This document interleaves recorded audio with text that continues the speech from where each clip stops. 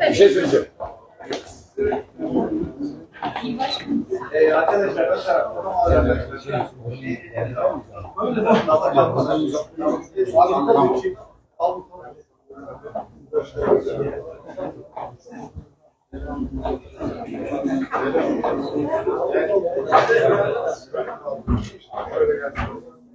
Genel Başkanım tekrar hoş geldiniz. Biraz önce İlminas'la beraberdik. Orada çok güzel koşulu bir karşılama oldu size. Yine şimdi de buradayız Büyükşehir Belediye'mizdeyiz. Sizi burada karşılamaktan ve ağırlamaktan çok büyük onur duyuyoruz. Biz de seçimlerden sonra özellikle kazanan belediye başkanlarımızla beraber hızlıca çalışmalarımıza başladık. E, Partimizin bize verdiği destekle ve güçle bölgemizde en güzel şekilde hizmet ediyoruz. Özellikle seçimden sonra aldığımız bu güzel başarının, zafer demiyoruz, başarı diyoruz buna her zaman. Bu güzel başarının farkındayız, sorumluluklarımızın da farkındayız. Umarım iktidara giden yolda biz de yerel yönetimler olarak üzerimize düşen bütün gücü sarf edeceğimize e, sizler de iyisiniz, bizler de iyisiniz. Tekrar hoş geldiniz. Hoş bulduk. Bir kez daha merhaba. Ee, Eskişehir tabii bizim çok kıymet verdiğimiz, çok önem verdiğimiz, çok önemli işler yapan bir şehrimiz.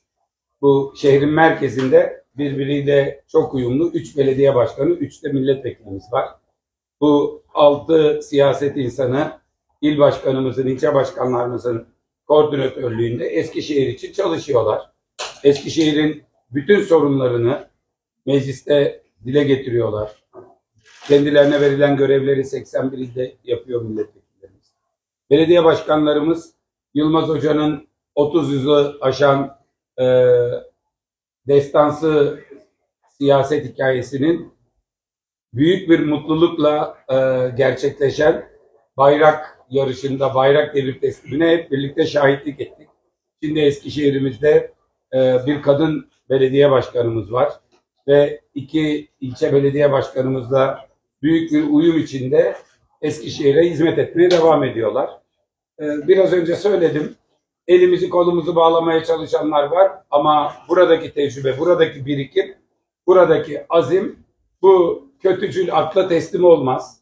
Elbette ki bu iktidarın belediyeleri çalıştırmama stratejisi ayıplı bir stratejidir.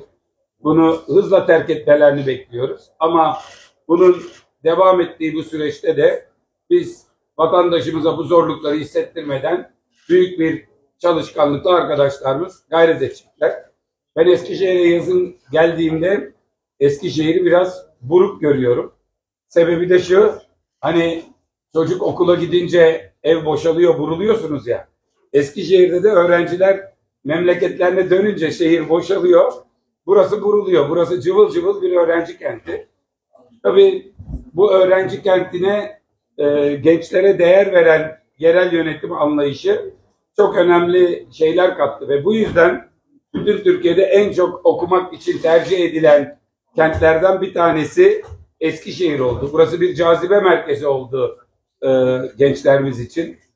Seçimlerden önce her dört gencin üç tanesi yurt dışına yerleşme hayali kurarken bugün gençler Türkiye'nin geleceği için bir kez daha umutlandılar. Ee, oranların Türkiye'yi terk etmeye yönelik olan bu oranların e, azımsanmayacak noktada olduğunu ama bir umudun gerçekleşmiş olduğunu görüyoruz. Buradan Eskişehir'den hem Eskişehir'de okuyup şimdi Türkiye'nin dört bir yanında ailelerinin yanında memleketlerinde e, tatilde olan gençlerimize hem de Türkiye'nin bütün gençlerine şu müjdeyi vermek gerekiyor. Cumhuriyet Halk Partisi iktidarında hiçbir şey bugün olduğu gibi olmayacak. Örneğin hiçbir vize derdiniz olmayacak. Bütün Avrupa'yı, bütün Avrupa'yı pasaportunuzla bile değil nüfus cüzdanınızda gezebilir hale geleceksiniz. Bugünkü gibi teknolojiye erişim bu kadar zor olmayacak, bu kadar pahalı olmayacak. Bir cep telefonu için sizi yetiştirenlerin neredeyse e, 4 aylık maaşlarını vermeleri gerekmiyor olacak. 4-5 aylık maaşlarıyla bir cep telefonu, 3 aylık maaşlarıyla bir tablet PC alabilmek gibi zorluklar olmayacak. Eğitim hakkı bu kadar pahalı, iyi eğitime erişmek de sadece zengin ailelerinin çocuğunun kavuştuğu bir imkan olmayacak. Cumhuriyet Halk Partisi iktidarında liseyi bitirmiş her genç en üst düzeyde bir yabancı dili, İngilizce ya da tercih ettiği en az bir yabancı dili ve teknoloji kullanımında da üst düzey bir yetkinliğe sahip olacak. Bu Cumhuriyet Halk Partisi iktidarındaki eğitim politikalarımızın en olmazsa olmaz iki köşe taşı olacak. Bunların hepsi de öyle zorlukla olmayacak. Çünkü bizim Sayın Erdoğan gibi Şangay İşbirliği Örgütü'ne girme gibi bir hedefimiz yok. O örgütte bulunan ülkelerin milli geliri 4500 dolar. Oysa bizim bir tane hedefimiz var. Avrupa Birliği'ne tam üye olmak. Oradaki milli gelir 45 bin dolar. Atatürk'ün gösterdiği istikamet bu taraf. Atatürk gelişmiş ülkeleri yakalayın geçin. Muasır medeniyetler seviyesine erişmek ve onları aşmak demiş. Oraya gittiniz mi 45-50 bin dolar gelir var. Tayyip Bey'in hadi gidelim dediği tarafta fakir halk var, büyük saraylar var, diktatörler var. Bizim bu tarafta demokrasi var, hukukun üstünlüğü var. Cumhuriyet Halk Partisi'nin genel başkanı olarak Sosyalist Enternasyonel'in başkan yardımcısıyım ben. Oraya seçildim. Başkanımız İspanya Başbakanı Pedro Sanchez, bizim siyasi akrabamız. Ve geçtiğimiz ay orada yayınlanan sonuç bildirgesinde CHP'nin Avrupa Birliği'ne tam üyelik hedefini hepimiz destekliyoruz diye imza attı. O imzanın altında Yunanistan dahi var. O imzanın altında Sosyalist Enternasyonel üyesi bütün ülkeler var. Ve Cumhuriyet Halk Partisi'nin yönü belli, hedefi belli. Güçlü bir parlamento, güçlü bir kuvvetler ayrılığı, güçlü bir bağımsız bir yargı sistemi ve hızla zenginleşen Türkiye 10 yıl sonra 10 yıllık CHP iktidarında 10 kat satın alma gücü. Bunu şöyle anlatalım. Tayyip Bey geçmişten örnek veriyor. Eskiden paralarda çok sıfır vardı. 6 sıfır attım diye övünüyor. Tayyip Bey örneğin Burs, e, Eskişehir'de bir kafe dükkanında, kahve dükkanında içilen kahveden fiyatından 6 sıfır attı. Ama gencin aldığı öğrenim kredisinden de 6 sıfır attı. Babasının yolladığı destekten, harçlıktan da 6 sıfır attı. Babasının aldığı maaştan da 6 sıfır attı. Tayyip Bey sinema biletinden de 6 sıfır attı. Öğrenci kredisinden de 6 sıfır attı. Biz bir sıfır atacağız. Bir tane. Ama sadece masraflardan, sadece etiketlerden, sadece giderlerden atacağız. Bunun adı kalkınmadır. Bunun adı zenginleşmedir. Bunu yapmanın yolu milli geliri 10 kat arttırmaktır. Bunu yapmanın yolu satın alma gücünü arttırmaktır. Her şeyin, bütün maaşların, gelirlerin bugünkü gibi olduğunu ama bütün etiketlerde bir sıfır olmadığını düşünün. Örneğin benzinin 4 lira olduğunu, 3 lira 90 kuruş olduğunu düşünün. Ekmeğin 1 lira olduğunu, yani normalde 10 liraya satılan ekmeğin 1 lira olduğunu düşünün. 15 liraya satılan şişe suyunun 1,5 lira olduğunu düşünün. Böyle bir Türkiye vaat ediyoruz gençlere.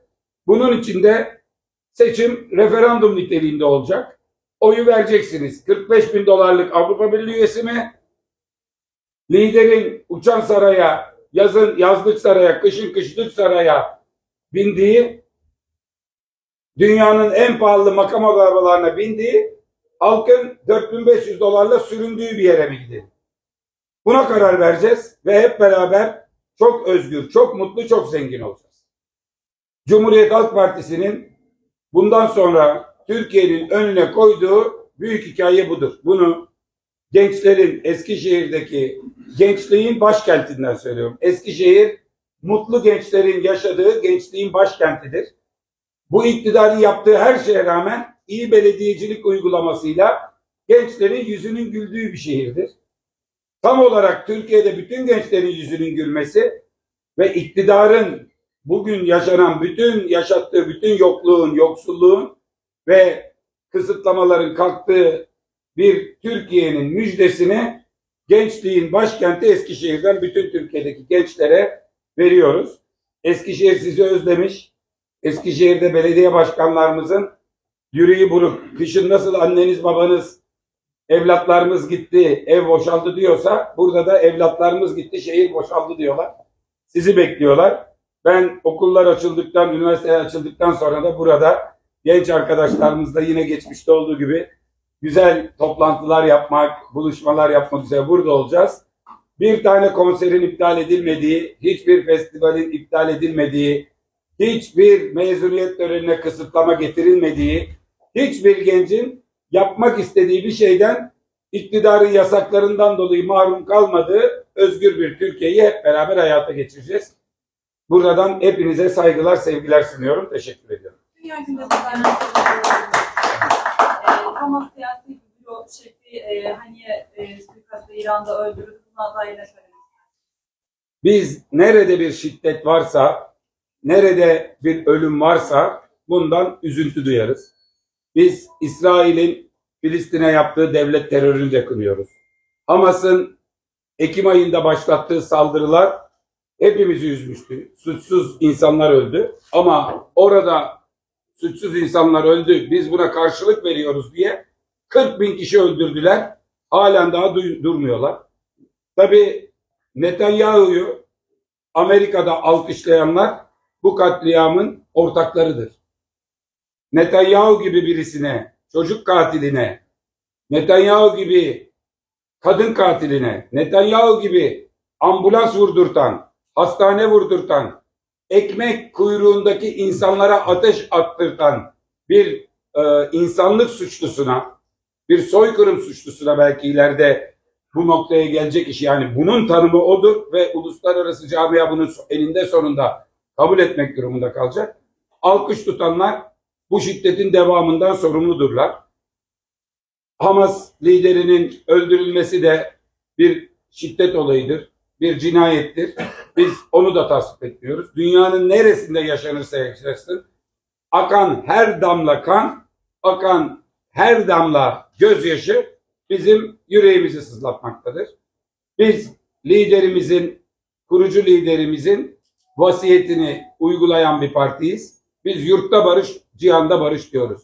Yurtta barış, dünyada barış diyoruz. Filistin'de de barış istiyoruz. Ukrayna'da da barış istiyoruz. Nerede şiddet varsa barış istiyoruz. Nerede tırmanan bir gerilim varsa bunun diplomasi yoluyla çözülmesini istiyoruz. İşin silahlara gelmemesini savunuyoruz. Hep böyle yaptık. Bundan sonra da yapmaya devam edeceğiz. Genel Başkanım. Buyurun. Tabii. Yerel seçimden e, erken seçimle ilgili biraz bekleneceğiniz. O zaman tüm toplumsal kesimlerin yaşadığı sorunlarla beraber acaba bir daha erken bir seçim ya da e, çok kısa süre sonra bir erken seçim olduğunda CHP buna hazır olabilecek. CHP bir erken seçime hazır. Biz erken seçime Dün-? Biz erken seçime dünden razıyız, bugünden hazırız. Yani bu konuda vereceğimiz cevap budur. Biz 31 Mart seçiminden önce meydanlara çıktık. Dedik ki ey AK Partililer, ey MHP'liler bu iktidara bir sarı kart gösterin. Burada iktidar değiştirmeyeceksiniz. İyi belediye başkanı seçeceksiniz. Ayşe Ünlüce'yi seçeceksiniz. Ahmet Başkan'ı seçeceksiniz. Kazım Başkan'ı seçeceksiniz. Onlar da partimizin örneğin yüzde 25 son seçim oyu o seçimden 10 ay önce bize yüzde 38 oy verdi. Ben de dedim ki bu seçim sonucunu bahane edip erken seçim istemeyeceğim. Yani bu iktidarı değiştirmek istemeyenler aman erken seçim olur diye korkup yerelde oy vermemezlik yapmasın. E ben seçimin ertesi günü lafından dönecek bir siyasetçi değilim. Dedim ki bu seçim sonucunu araçsallaştırarak benim bir talebim olmayacak. Zaten erken seçimin yolu ya Tayyip Bey isteyecek ya 360 milletvekili o da bizde yok. Ama dedim ki insanların geçim sorunu var. Siz bu geçim sorununa çare bulmazsanız insanlarda geçim olmazsa ülkede seçim olur. İnsanlar isterse o zaman ben onların talebinin arkasına geçerim. O günden bugüne örneğin Ocak ayında biz bunları konuşup o istiyorduk değil mi insanlardan kampanyanın başında utanç verici bir emekli maaşı vardı 10 bin lira. O maaş şu an 12.500 oldu. Bütün uyarılarımıza rağmen 17.500 olması lazım. O maaş Ocak'ta 25 kilo dana kıyma alıyordu. Bugün 20 kilo alıyor. o utanç maaşı bile 5 kilo kıyma kaybetmiş. Şimdi nasıl geçinecek bu emekli? Asgari ücrete geçer sene, bundan önceki sene, yani seçimlerden hemen önce, yılda dört kez zam yapmayı iddia ediyorlardı. Taahhüt ediyorlar. Enflasyonist ortamda diyorlardı maaş eriyor. Mart'ta yaparız, Temmuz'da yaparız, Ekim'de yaparız, Aralık'ta yaparız. 17 bin 2 lira, 17 bin lira asgari ücret var. Yıl ortasında bile yapmadılar. Aralığa kadar geçiriyor. Bugünkü 17 bin lira Ocak ayındaki 13 bin liraya düştü. 3850 lira eridi. Hatta bugünkü de değil daha da çok eridi şu anda. Temmuz'da bitiyor. 1 Temmuz'daki 17 bin lira Ocak'taki 13.200 lira. E sen buna da zam yapmadın. Çaycıya, çay üreticisine istediğini vermiyor Rize isyanda. Buğdaya istediğini vermiyor. Konya isyanda, Adana, Osmaniye isyanda, Tekirdağ isyanda. Esnaf borcunu ödemek için eşin dostun kredi kartından kredi çekiyor. Krediye ulaşım imkansız, çok pahalı. Borcunu ödeyemiyor.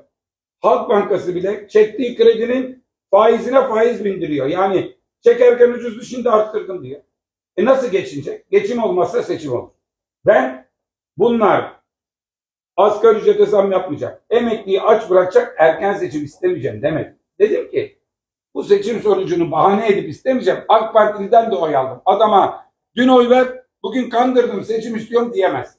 Ama şimdi erken seçimin meşru şartları kendiliğinden ortaya çıktı ve insanlar erken seçim istiyor.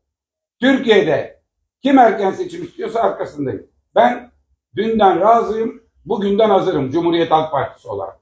Ama şu anda şu gücümüz yok. 130 milletvekilimiz var bizim, 127, 360 lazım. AKP evet demeden erken seçim olmuyor. O yüzden erken seçim talebini muhalefeti doğru değil. Biz erken seçimden yanayız. Ben gün sayıyorum, sabırsızlanıyorum. Duramıyorum iktidar olmak için. Ama iktidar erken seçim yapma yetkisi elinde kaçıyor. Bu talebi iktidara doğru yönetmek lazım. Erken seçim talebini yönetmek lazım. Ne kadar erken seçim olursa o kadar erken CHP iktidar olur. O kadar erken biraz önce söylediğim hem Avrupa Birliği süreci başlar, demokrasi gelir, yavaş yavaş sıkıntılar biter. Türkiye çok büyük krediler gelir, çok büyük fonlar gelir. Çünkü biliyorsunuz bir ülke demokrasi vaat ediyorsa AK Parti 2002-2007 arası nasıl rahatladı? Demokrasi vaat ediyordu. Avrupa Birliği'ne girmeyi vaat ediyordu. Herkes buraya geliyor. Şimdi biz gerekirse Şangay'a gideriz deyince herkes kaçıyor. Kimse gelmiyor. Ben CHP Eski Başkanı Yılmaz yaptığı bir açıklama nedeniyle ifadeye hakkındaki neler? Vallahi en iyi cevabı Eskişehirliler verdi. Ben ertesi gün bir baktım. Talat Bey benden güzel kalabalık toplamış Eskişehir'de. Demek ki onun iradesi Eskişehir'deki gençlerin, Eskişehir'deki örgütümüzün iradesi. Talat Bey'in ne dediği belli. Biz çevremize sahip çıkarken kimse şöyle bir şey düşünmesin. Ben genel başkan olarak söylüyorum. Biz Gezi'den utanmıyoruz. Biz Gezi'yi sahipleniyoruz. Gezi'de bir suç yok. Arkadaşlarımız suçsuz yere yatıyor. Gezi'de bir gün kalktılar. Hiçbir şey yoktu. Kimse bir şey demiyordu. Her şey normalken Taksim'in ortasındaki ağaçları keseceğiz. Biz buraya kışla yapacağız. Toplu kışlası yapacağız dediler. 31 Mart olayları 31 Mart vakasına atfen. Biz gideceğiz buraya topçu kışlası yapacağız dediler. Harekat ordusunun gelmesine yıl dönümünde de aşacağız dediler biz bunu. Tarihle hesaplaşan, tarihle inatlaşan, tarihte bırakılması gereken olaylardan gerilim yaratmaya çalıştılar. Ağaçları keseceğiz deyince kesemezsiniz dedi insanlar. Burada Ali İsmail Korkmaz hayatını kaybettiyse çevre duyarlılığı yüzünden kaybetti. Gezi'de biz kimsenin burnunu kanatmadık. Ama bizim canlarımızın, canlarımız Berkin Elvan en küçükleri olmak üzere hayatını kaybettiler. Çok sayıda arkadaşımız gözünü kaybetti ve o günü Hatay, Ankara ve İstanbul Emniyet Müdürleri FETÖ'cülükten içeri atıldılar. İçeri. Kimler kimlerle beraber. Şimdi o FETÖ'cülerin başlattığı gerilimi, FETÖ'cü savcıların yazdığı iddianameyi esas alıp Gezi'ye darbe girişimi diyorlar. Biz de sineceğiz. Ne demiş Telat Bey? Nasıl Gezi'de ağaçlara sahip çıktıysak hayvanlarımıza da sahip çıkarız. Altında Telat yazıyordu. Kaldırın özgür yaz. İl başkanımızın arkasındayız. Bütün Eskişehir arkasında olduğunu zaten gösterdi. Ee, biz barışçıl olduktan sonra kimsenin canına malına zarar gelmedikten sonra her türlü demokratik tepki ve protestonun hak olduğunun altını çiziyoruz. Demokrasi tepki ve protesto rejimidir. Bunu herkes böyle bilsin. Öyle sokakları, meydanları gençlere, kitlelere kapatarak bir ülkeyi yönetemezsiniz. Gezi başladığında da son derece barışçıldı. FETÖ'cülerin provokasyonuyla ortam gerildi. Tayfun Kahraman ağaçların kesilmeyeceğini, topçu kışlasının yapılmayacağının, yargı kararının bekleyeceğini, gerekirse referandum yapılacağının, Atatürk Kültür Merkezi'nin yıkılıp yerine AVM yapılmayacağının garantisini alıp çıkıp gezi sakinlerinin takdirine sunuyorum dedikten sonra da zaten gezi kendi kendine evine döndü. Son aşamada bir takım radikal gruplarla çatışmalar olmuş, tartışmalar olmuş. O bütün geziyi bağlamaz. Gezi bu tarih, bu ülkenin gördüğü en barışçıl ve en haklı protesto. Arkadaşlar teşekkür ediyoruz. Buyurun. Yerel seçimlerden sonra Cumhuriyet bir disiplin süreci başladı. Eskişehir'de kamuoyunun yakından tanıdığı yine CHP'den aday adayı olan bazı isimler de disipline verildi. E, Bu süreç ne zaman sonlanacak? Aynı şekilde e, il disiplin kurullarına e, gönderileceği söyleniyor ama süreç ne zaman sonlanacak? Cumhuriyet Halk Partisi Türkiye'nin en büyük, birbirini en çok seven ailesi. Bu ailenin kurucusu Gazi Mustafa Kemal Atatürk. Bu aile seçime girerken birileri tutup da başka adaya çalışıyorsa bu disiplin suçudur. Biz Eskişehir'deki barışı asla bozmamak için disiplin işlemlerini siz yapmayın. Nerede kanıt varsa yollayın bakalım dedik. Bütün Türkiye'den bunu istedik. 2300 dosya geldi. Bunların içinden gerçekten kanıtı, hukuken kanıt olabilecek. Suç vardır ama kanıtlayamıyorsundur. Hukuk devletinde yaşıyoruz. Biz Tayyip Bey gibi ne olursa olsun atın demiyoruz. Hukuken ispatlı olanları il disiplin kurullarına yolladık. Bu arkadaşlarımızın suçları tüzüğümüzde hangi cezaya karşılık geliyorsa uyarı, kınama, bir yıl çıkarma, tamamen ihraç o cezaları verebilirsiniz dedi. Yargının yani eee, parti içi yargının önünü açtık. Onlar ne karar verirlerse başımızla beraber bütün kararlar yargı denetimine tabi. Ama partinin genel başkanı olarak söylüyorum. Eskiden partide olup önemli görevler yapmış. Ama son seçimde gitmiş partiye ihanet etmiş. Ya bu kadar kritik bir seçimde sen Eskişehir'i Ayşe Hanım kazanmasın da AK Parti kazansın diye gayret ettiysen senin bu baba evinde yerin olmaz. Olmaz yani. Bunun kabul edecek tarafı yok. Ama ufak tefek kusurlar ben bana küfredenleri, hakaret edenleri affediyorum. Ama partiye ihanet edenleri affetmiyorum. Teşekkür ediyoruz arkadaşlar. Sağ olun.